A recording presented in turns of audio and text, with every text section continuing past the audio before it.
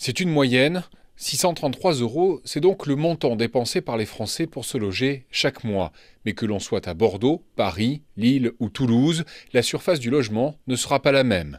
Seulement 14 mètres carrés à Paris avec ce montant alors que le loyer moyen dans la capitale avoisine les 1100 euros.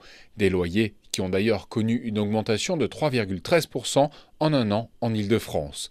Mais c'est à Bordeaux que les prix des loyers ont le plus augmenté, avec plus 6,77% par rapport à 2017.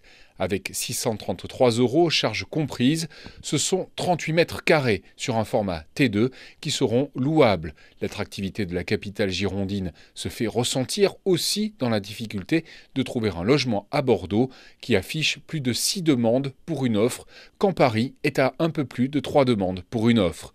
À Toulouse, ce sont 43 mètres carrés que l'on peut louer pour le même montant.